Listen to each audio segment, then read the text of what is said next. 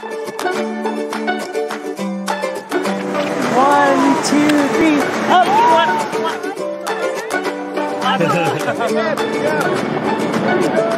oh, fun.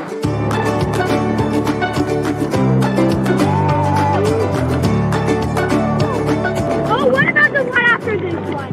Our Surf Madonna surf camps are held each year starting in June. Our overall mission is to introduce people to the ocean, whether that's special needs families, wounded warriors, persons with disabilities, disadvantaged youth. 200 families a year since 2013. We've worked with over 1,200 families. Amazing families, amazing kids. Kids with uh, Down syndrome, all the way to cerebral palsy, you name it. There, ready? There you go. We teach the parents how to get in the water with the kids, get on the back of the board, and be able to ride the waves in with their kids. Now you can come back to the beach whenever you want because they know how to do it now. You change that family's life forever.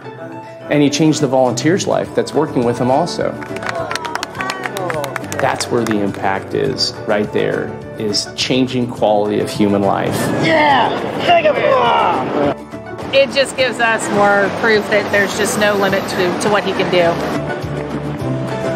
Tons of big smiles, and I know he was having a blast.